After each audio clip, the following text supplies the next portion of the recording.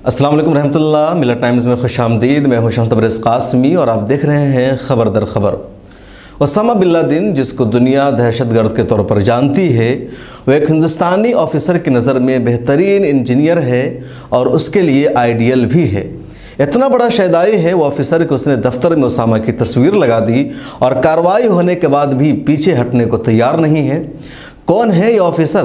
और क्या ओसामा बिल्लादिन ने इंजीनियरिंग की भी डिग्री हासिल की थी? बताएँगे आज खबर दर खबर में। ये भी बताएँगे कि दुनिया का वो कौन सा मुल्क है जहाँ के मुसलमान इस साल हज करने नहीं जाएँगे और क्यों नहीं जाएँगे। आप ये भी जानेंगे कि बंगाल मदरसा बोर्ड के 10 टॉपर में हिंदू स्टूडेंट भी शरीक हैं और वहाँ के मदरसों में ऐसा क्या है कि हिंदू तलबा तलबात भी बड़ी तादाद में मदरसों में दाखिला लेते हैं और पढ़ते हैं। आखिर में तस्करा करेंगे ऑस्ट्रेलिया का, जहाँ पहली मरतबा किसी मुसलमान को काबीना वज़ीर का अहदा मिला है और उसने हाथ में कुरान करीम लेकर हलफ लिया है। लेकिन पहले जान लेते हैं आज की ये पाँच अहम न्यूज़।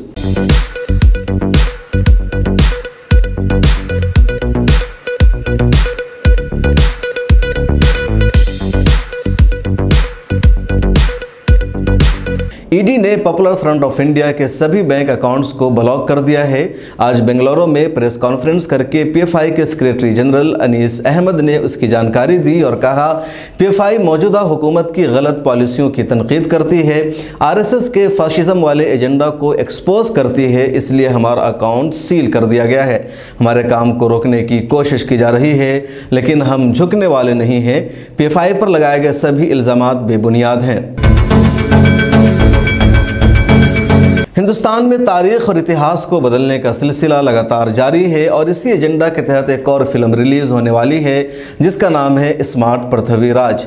इस फ़िल्म में कलीदी रोल अदा करने वाले अक्षय कुमार ने एक चैनल को इंटरव्यू देते हुए कहा कि भारत में तारीख के मजमून में सिर्फ़ मुग़ल राजाओं और बादशाहों का तस्करा है, हिंदू राजाओं का तस्करा बहुत कम है। उन्होंने कहा कि अब हम तारीख पढ़ाएँगे और निसाब में मुग़लों का ज़िक्र कम करके हिंदू राजाओं का ज़िक्र होना चाहिए, ऐसा सरकार से मुतालबा करेंगे। लेकिन अब वो सोशल मीडिया पर ट्रोल हो रहे हैं क्योंकि खुद ही पहली क्लास से लेकर दसवीं क्लास तक तीन मरतबा फेल हो चुके हैं।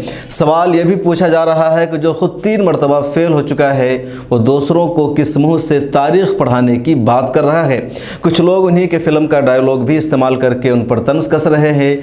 ये आप किस लाइन में आ गए? कश्मीर में टारगेट किलिंग का सिलसिला लगातार जारी है। कल एक और हिंदू बैंक मैनेजर का वहाँ कत्ल हो गया है। वहाँ के पंडित भी पिछले 19 दिनों से एहतजाज कर रहे हैं। इस दरमियान ऑल इंडिया मजलिस इतिहादुलमुस्लिमीन के सदर असदुद्दीन ओवैसी ने कहा, कश्मीरी पंडितों की इस हालत के लिए मरकज़ की मोदी हुकूमत बरह रास्त जिम्मेदार है। मोदी हुकूमत कश्मीरी पंडितों की हिफाजत को छोड़कर फ़िल्म की तशहर में मसरूफ़ है। उनके लिए कश्मीरी पंडित सिर्फ़ वोट बैंक हैं। ऑल्ट न्यूज़ के बानी एडिटर मोहम्मद ज़ुबैर के ख़िलाफ़ यूपी की सीतापुर पुलिस ने केस दर्ज कर लिया है। एफआईआर की कॉपी में लिखा गया है कि मोहम्मद ज़ुबैर ने बजरंग मुनिदास यति नरसिंहन सरस्वती और आनंद सौरभ को हेट मोंगर्स कहा, जिससे हिंदुओं के जज्बात मजरू हुए हैं। हेट मोंगर्स का मतलब होता है नफ़रत फैलाने वाला। बजरंग मुनिदास मुस्लिम खवतिन के रेप की धमकी दी थी और यति नरसिंहन सरस्वती ने मुसलमानों के कत्ल आम के लिए हिंदुओं को उकसाने का काम किया था और ज़ुबैर के ट्वीट के बाद ही उसे जेल हुई थी। भारत का एक आला सतही वफद तालिबान के सीनियर अहदेदारों के साथ बातचीत के लिए काबुल पहुँचा है। पिछले साल अमेरिका की हार और तालिबान के इकतदार में आने के बाद भारतीय हुकाम का यह पहला ऑफिशियल दौरा है। इस वफद की क़्यादत भारतीय वजारत खारजा में पाकिस्तान, अफ़गानिस्तान और ईरान के जवान सेक्रेटरी जे पी सिंह कर रहे हैं। वैसे कबल भी दोहा में तालिबान रहनुमाओं से मुलाकात कर चुके हैं। और अब बात आज के असल मौजूद की। ओसामा बिल्लादिन ये नाम फिर चर्चे में है और इस बार चर्चा की वजह हिंदुस्तान का सूबा उत्तर प्रदेश है, जहाँ योगी आदित्यनाथ की सरकार है। और चर्चा की वजह उसामा ओसामा बिल्लादिन से नफरत, दहशतगर्दी के इल्ज़ाम जैसी चीज़ नहीं, बल्कि उनसे मोहब्बत का इजहार है। उसामा के कामों की सताइश है। ओसामा बिल्लादिन से मोहब्बत करने वाले इस शख्स का नाम है रविंदर प्रकाश गौतम। अमेरिका और पूरी दुनिया की मीडिया ने ओसामा बिल्लादिन को दुनिया के सामने एक दहशतगर्द और खूनखार शख्स के तौर पर पेश किया और यही दुनिया जानती है। लेकिन रविंद्र प्रकाश गौतम ने बताया कि वो बेहतरीन इंजीनियर भी थे और इसी वजह से मैं उनका शहदाई हूँ। प्रकाश गौतम ओसामा बिल्लादिन के इतने बड़े फ़ैन और चाहने वाले निकले कि उन्होंने अपनी ऑफ़िस में भी ओसामा की तस्वीर लगा दी। मामला सुर्खियों में आने के बाद उन्हें सस्पेंड कर दिया गया है, लेकिन इसका भी उन पर कोई फ़र्क नहीं पड़ रहा है। उत्तर प्रदेश में बिजली डिपार्टमेंट के एसडीओ रविंदर प्रकाश गौतम ने अपने दफ्तर में ओसामा बिल्लादिन की तस्वीर लगाने के साथ उसे दुनिया का बेहतरीन जूनियर इंजीनियर, यानी जेई करार दिया और खराज तहसीन भी पेश किया। हुकाम के मुताबिक D V V N L के सब डिविजनल ऑफिसर यानी एसडीओ रविंद्र प्रकाश गौतम ने अपने दफ्तर में बिल्लादिन की तस्वीर इस कैप्शन के साथ लगाई, मोहतरम ओसामा बिल्लादिन दुनिया के बेहतरीन जूनियर इंजीनियर दोबारा सुनिए, मोहतरम ओसामा बिल्लादिन दुनिया के बेहतरीन जूनियर इंजीनियर तस्वीर और कैप्शन सोशल मीडिया पर वायरल होने के बाद सीनियर हुकाम और अधिकारियों ने वाक़े का नोटिस लिया और फिर एसडीओ को सस्पेंड करने का ऑर्डर भी दे दिया। दफ्तर से बिल्लादिन की तस्वीर भी हटा दी गई है। ज़िला मजिस्ट्रेट संजय कुमार सिंह ने बताया, इस मामले को संजीदगी से लिया गया है। डिपार्टमेंट के मैनेजिंग डायरेक्टर अमित किशोर ने पुसवार पाए जाने के बाद रविंद्र प्रकाश गौतम जो नवाबगंज में एसडीओ थे, उनके खिलाफ फौरी कार्रवाई करते हुए सस्पेंड कर दिया गया है। दूसरी जानब S D O Ravinder Prakash Gautam ने अपने इकदाम का दिफा करते हुए कहा कि मैं ओसामा बिल्लादिन को अपना रोल मॉडल और आइडियल मानता हूँ और कोई किसी को भी अपना रोल मॉडल मानने के लिए आज़ाद है। ओसामा दुनिया के बेहतरीन जूनियर इंजीनियर थे। तस्वीर हटा दी गई है, लेकिन मेरे पास उसकी कई सारी कापियाँ मौजूद है। दोबारा तस्वीर लगा दूँगा। कोई भी मुझसे मेरी आज़ादी छीन नहीं सकता है। मैनेजिंग डायरेक्टर का कहना है कि सस्पेंशन के दौरान एस डी ओ का तबादला कन्नौज किया जाएगा। गौतम के इकदाम सरकारी मुलाजमीन, जबत अखलाक 1958 के असूलों के खिलाफ है। एस डी ओ ने तकरीबन एक हफ़्ता कबल ओसामा की तस्वीर अपने दफ्तर में लगाई थी। क्लर्क, ऑपरेटर, डोजे और ई और इस तरह के कई सारे मुलाजमीन वहाँ रोज़ाना हाजिरी देते हैं, लेकिन किसी ने ऑब्जेक्शन और एतराज़ नहीं किया। चीफ इंजीनियर राकेश वर्मा ने कहा, मामला की तफ्तीश के लिए कमेटी तश्कील दी गई है। एक रिपोर्ट भी तलब की गई है और दीगर मुलाजमीन के खिलाफ भी कार्रवाई की जाएगी। आखिर कौन है Osama bin Laden Osama bin Laden का मुकम्मल नाम उसामा बिन मोहम्मद बिन एवज बिन लादिन था 10 मार्च उन्नीस सौ सत्तावन में रियाज में विलादत हुई। अमेरिका की दहशत गर्दों की फहरिस्त में नाम शामिल था।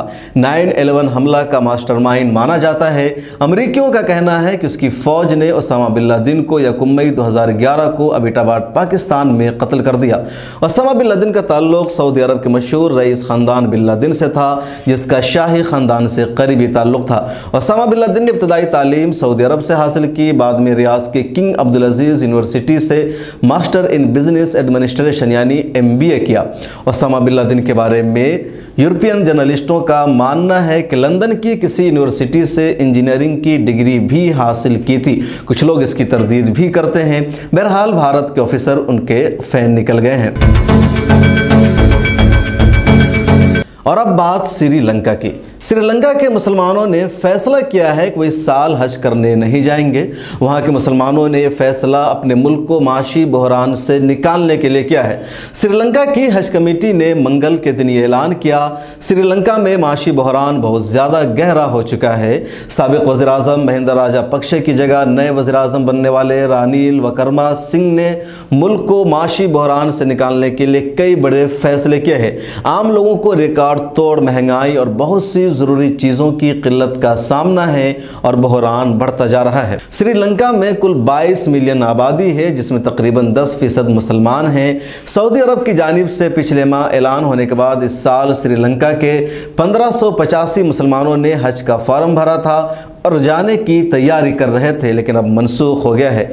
श्रीलंका दुनिया का पहला मुल्क होगा, जहाँ के मुसलमान साल 2022 में हज की सादत से महरूम रहेंगे। सऊदी अरब की हुकूमत ने इस बार 10 लाख गैर मुल्की और मुल्की मुसलमानों को हज करने की इजाज़त दी है। और अब बात ऑस्ट्रेलिया के मुस्लिम खातून की। यूरोप समेत दुनिया के मुख्तलिफ़ मुल्कों में मुसलमान लगातार सियासी तौर पर अपनी शनाख्त कायम कर रहे हैं और हुकूमत में उन्हें हिस्सेदारी भी मिल रही है। ज़िला और स्टेट की सियासत में फ़ाल होने के बाद मरकज़ी सियासत में अपना वजूद दर्ज करा रहे हैं और अली अहदों पर पहुँचने में कामयाब हो रहे हैं। जिसकी एक ताज़ा मिसाल ऑस्ट्रेलिया है। यहाँ की तारीख में पहली मरतबा किसी मुसलमान को वज़ीर बनने और काबीना की फहरिस्त में शामिल होने का मौका मिला है। जिनका नाम है एन अली। ये खातून है। ऑस्ट्रेलिया की नई हुकूमत ने हलफ उठा लिया है। गवर्नर जनरल डेविड हर्ली ने राजधानी कैनबरा में एक तकरीब में नए वजी अजम एंथोनी अल्बानी की क़्यादत में काबीना वजरा से हलफ लिया, जिसमें एन अली भी शामिल थी। स्क्रीन पर उनकी तस्वीर भी देख सकते हैं। एन अली को लेबर पार्टी ने चाइल्ड होल्ड एजुकेशन का वज़ीर बनाया है। उर्दू में इसे कह सकते हैं वज़ीर बरए तालीम अतफाल। एक और बात यह कि ऑस्ट्रेलिया की नई हुकूमत में हुसैन अली समेत कुल तेरह ख़वातीन वज़रा को शामिल किया गया है।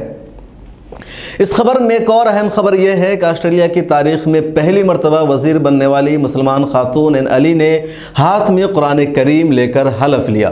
बीबीसी की एक रिपोर्ट के मुताबिक पचपन साल एन अली मिस्र में पैदा हुई और जब वो सिर्फ़ दो साल की थी तो उनका ख़ानदान सिडनी चला गया था। अली ने एर्थ कोविन यूनिवर्सिटी से पी एच डी की डिग्री हासिल की। सियासत में आने से पहले वो मगरबी ऑस्ट्रेलिया की इंतज़ामिया में कई अहम अहदों पर फायज थी। शुरू में वो लेबर पार्टी की कारकुन थी, उसके बाद वो पार्टी की यूनियन मेंबर बन गई और अब मुल्क की पहली मुस्लिम वज़ीर बन गई है। ऑस्ट्रेलिया की इस खबर में एक और अहम खबर यह भी है कि ऑस्ट्रेलिया जैसे मुल्क में एक मुस्लिम खातून ने अपने अहदे का हलफ लिया, कुरान करीम के अहदे का हलफ लिया और पूरी दुनिया ने उसकी सतश की, किसी ने उसकी मुखालफत नहीं की, किसी ने उसको इस्लाम के ख़िलाफ़ नारा लगाने पर मजबूर नहीं किया, किसी ने उसके ख़िलाफ़ हो नहीं किया, किसी ने उसका मज़ाक नहीं उड़ाया। अब उसका मुजना भारत से, भारत की पार्लियामेंट से, यहाँ के सियासी निज़ाम से और मिजाज से भी कर सकते हैं कि भारत में मुसलमान अगर अल्लाह के नाम पर हलफ लेते हैं तो मज़ाक उड़ाया जाता है। पार्लियामेंट का दिन याद होगा, जब 2019 में बैरिस्टर असदुद्दीन ओवैसी हलफ ले रहे थे तो लोग जय श्री राम का नारा लगाने लगे। भारतीय जनता पार्टी के मेम्बरान जय श्री राम बोलने लगे और तब उसके जवाब में असदुद्दीन ओवैसी ने अल्लाह अकबर जय भीम का नारा लगाया था। यानी भारत में ऐसा होने लगा है, इस्लामोफोबिया इतना बढ़ गया है, लेकिन ऑस्ट्रेलिया में और इस तरह के मगरबी ममालिक में, यूरोप में, अमेरिका में जहाँ कहा जाता है, इस्लामोफोबिया है और वहीं से इस्लामोफोबिया इधर आई है, लेकिन अब वहाँ इस्लामोफोबिया का एक तरह से काउंटर हो रहा है। या इस्लामोफोबिया जैसी चीज़ें कम हो रही है और अपने आप में एक तारीखी मिसाल है कि ऑस्ट्रेलिया, जहाँ मुसलमानों की आबादी एक परसेंट से भी कम है, वहाँ एक मुसलमान को वज़ीर वज़ीर बनाया गया है, चाइल्ड हुल एजुकेशन की मिनिस्ट्री दे गई है। और अब बात करते हैं बंगाल के उस मदरसा की, जहाँ हिंदू स्टूडेंट्स ने टॉप किया है। खबरों के मुताबिक मगरबी बंगाल, मदरसा बोर्ड के आलिम और फाजिल इम्तहान के नतज का ऐलान कर दिया गया है। इस मरतबा कामयाब टॉप टेन में जगन्नाथ दास ने जगह बनाते हुए छठी पोजीशन हासिल की है।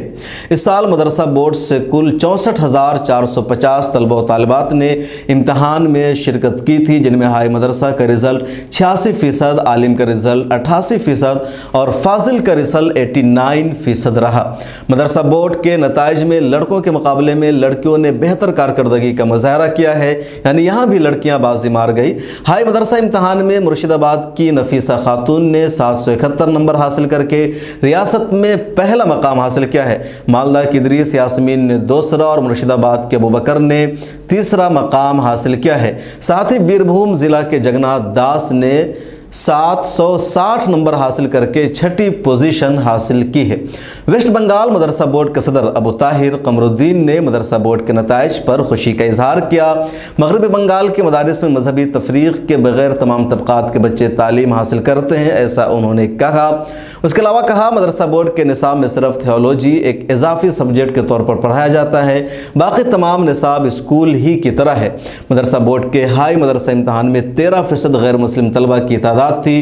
जो लोग मदरसों पर तनकीद करते हैं, वो यहाँ आकर देख सकते हैं। बंगाल के मदारस मजहबी तफरीक के तमाम तबक़ात को तालीम फराहम करते हैं। मदरसा बोर्ड के तहत जितने भी मदारस हैं, उसमें साठ फ़ीसद इस गैर मुस्लिम हैं। इस साल इम्तहान में शरीक होने वाले सत्तर हज़ार तलबा में से तकरीबन अठारह फ़ीसद हिंदू थे। दो हज़ार उन्नीस के इम्तहान में शिरकत करने वाले गैर मुस्लिम तलबा की तादाद बारह फ़ीसद थी। बांकोरा, पुरोलिया और बीरभूम के अज़ला में चार सबसे बड़े मदरसों में गैर मुस्लिम यानी हिंदू तलबा की तादाद मुसलमान तलबा से ज़्यादा है। गैर मुस्लिम तलबा तलबा ज़्यादातर सानवी सतह के मदरसों में दाखिला लेते हैं। उसकी वजह यह है कि इस मदरसा में सेकेंडरी बोर्ड के निसाब के मुताबिक पढ़ाया जाता है। बंगाल के मदरसों में तालीम हासिल करने वाले हिंदू तलबा और तालिबात का भी मानना है कि यहाँ मज़हब की बुनियाद पर हमारे साथ कोई भेदभाव और इम्तियाजी सलूक नहीं बढ़ता जाता है। पिछले साल भी तीन हिंदू तालिबात साथी मोडक, अरपीना, साहा और पापिया साहा ने नब्बे फ़ीसद से ज़्यादा नंबर हासिल करके रिकॉर्ड कायम किया था। एजुकेशन डिपार्टमेंट ने बताया कि मदरसा इम्तहान को हायर सेकेंडरी के मुसावी का दर्जा हासिल है। स्कूलों के मुकाबला मदरसा की फ़ीस कम होती है, इसलिए गरीब हिंदू स्टूडेंट्स भी मदरसों में दाखिला लेते हैं। स्टेट हुकूमत ने गैर मुस्लिम तलबा को अरबी ज़ुबान की तालीम में होने वाली दुशारियों को भी दूर कर दिया है। सौ नंबरों के अरबी ज़ुबान के इम्तहान में वो किसी दूसरी ज़ुबान में पैंसठ नंबरों के जवाब लिख सकते हैं। मदरसा बोर्ड के चेयरमैन कमरुद्दीन का कहना है, हमने मदरसों को भी आम स्कूलों जैसा बना दिया है। यहाँ स्टूडेंट्स एक साथ यानी तलबा और तलबात लड़के लड़की तालीम हासिल करते हैं। हमने फरसुदा रवायात को ख़त्म कर दिया है।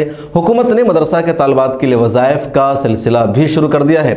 मगरबी बंगाल के मदरसों का रिज़ल्ट है, जहाँ हिंदू तलबा ने टॉप किया, छठी पोजिशन हासिल की और पूरे हिंदुस्तान के लिए एक मिसाल मिसाल है, वो लोग जो मदरसों पर तनकीद करते हैं, इल्ज़ाम लगाते हैं कि मदरसों में भेदभाव किया जाता है, या मदरसों में दहशत गर्दी की तालीम दी जाती है, उन्हें बंगाल के मदरसा बोर्ड को जाकर देखना चाहिए, जहाँ मुसलमान तलबा के साथ हिंदू तलबा पढ़ते हैं, शौक़ से दाखिला लेते हैं, और वो ख़ुद कह रहे हैं, हमारे साथ कोई भेदभाव नहीं होता, कोई इम्तियाज़ नहीं बढ़ता जाता। और अठारह फ़ीसद तलबा हिंदू थे, अपने आप में एक बड़ी कामयाबी है। असम में मदरसा बोर्ड को ख़त्म करके स्कूल बनाने की कोशिश की जा रही है, वहाँ की सरकार जिसको अपने फैसला को एक तरह से वापस लेना चाहिए। हाल ही में असम असम के चीफ मिनिस्टर हेमंता बिस्वा शर्मा ने कहा कि मदरसा को मुसलमान बच्चों को भूल जाना चाहिए, क्योंकि मदरसा में जाने के बाद वो डॉक्टर और इंजीनियर नहीं बन सकते हैं। लेकिन बंगाल के मदारस ही है जहाँ के बच्चों के लिए इंजीनियरिंग, डॉक्टरेट और दीगर शोबों में मौाक़े हैं और सब कुछ बन सकते हैं। और इसी से सबक लेना चाहिए। जमतलमाहिन का सदर मौलाना महमूद असद मदनी को भी जो मदरसों को बंद करने की बात कर रहे हैं। एक तरफ़ बंगाल की मिसाल है, जहाँ मदरसा बोर्ड है, सरकार इन मदरसों को ग्रांट देती है साथ की तनख्वाह देती है और उसकी वजह से मदरसों में ऐसी तालीम हो रही है। वहाँ के बच्चे स्कूलों में भी जा रहे हैं, हिंदू भी पढ़ रहे हैं। दूसरी तरफ़ मौलाना महमूद मदनी कह रहे हैं सवाल के जवाब में कि मदरसों को बंद कर देना चाहिए। हमें ज़रूरत नहीं है कि सरकार मदरसा चलाए, सरकार मदरसों को मदद करे कम्युनिटी को ज़रूरत पड़ेगी तो हम खुद मदरसे चला लेंगे, जबकि अकलीतों के लिए तालीमी अदारा कायम करना सरकार की ज़िम्मेदारी है। ये भारत के आइन में मौजूद है। खबरदार खबर में आज इतना ही। हमारा ये प्रोग्राम आपको कैसा लगता है, कमेंट सेक्शन में अपनी राय ज़रूर दीजिए। आपके हर कमेंट को हम पढ़ते हैं और उस पर अमल करने की भी कोशिश करते हैं। हमेशा की तरह आपसे रिक्वेस्ट है कि इस वीडियो को व्हाट्सअप पर और सोशल मीडिया के दीगर ज़राए के ज़रिए अपने तमाम लोगों को भेजिए और मिल्ला टाइम्स को माली तौर पर मदद पहुँचाइए ताकि एक मज़बूत मीडिया हाउस बन सके। मिल्ला टाइम्स की तमाम अहम खबरों के लिए आप मिल्ला टाइम्स की वेबसाइट को विज़िट कीजिए, मिल्ला टाइम्स के ऐप डाउनलोड कीजिए और सोशल मीडिया के सभी प्लेटफॉर्म पर मिल्ला टाइम्स को फॉलो कीजिए। अब मेरे पर्सनल विचार जानने के लिए मेरे साथ ट्विटर और फेसबुक पर भी जुड़ सकते हैं। मिलत टाइम्स को आपकी ज़रूरत है। हमारी आप माली मदद करें।